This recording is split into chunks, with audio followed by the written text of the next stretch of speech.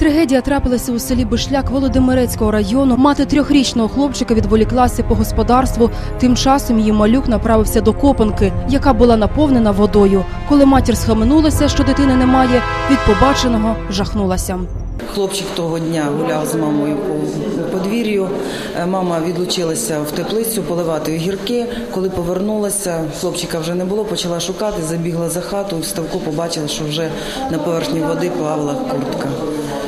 Смерть Максимка констатували лікарі швидкої допомоги. Дитина втопилася. У молодій сім'ї це був єдиний первісток. Сім'я благополучна, сім'я віруючих, Е, 91-го року народження батько і 92-го народження мама. Е, Це первісток їхній. Вони проживали окремо від батьків, свій будинок.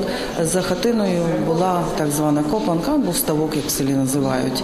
А тим часом у міліції підрахували це уже 13-й випадок на Рівненщині, коли через своїх батьків гинуть чи травмуються діти. За відсутністю належного догляду батьками за своїми дітьми стаються такі трагедії. Трагічну подію на Володимиреччині внесено до єдиного реєстру досудових розслідувань.